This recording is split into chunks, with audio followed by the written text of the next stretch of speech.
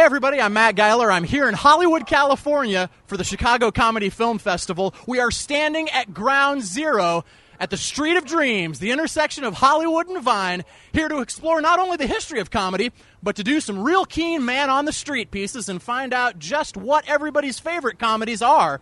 Over the last 20 years or so, I plan on delving deep and finding out just what makes us laugh.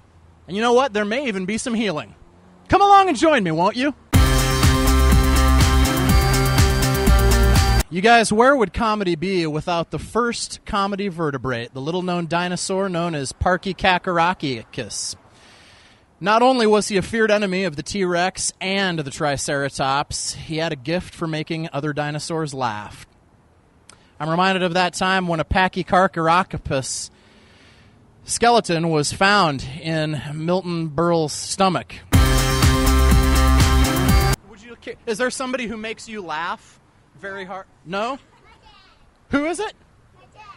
Your dad? Is this where's your dad? Oh, is the dad's working. Dad's hard at work. But I think that's interesting though, that little girl's favorite comedian is her dad. It's nice, touching. Incidentally, her dad will be performing at the Chicago Comedy Film Festival. He'll be wrapped in a flag and we'll drop him from a blimp.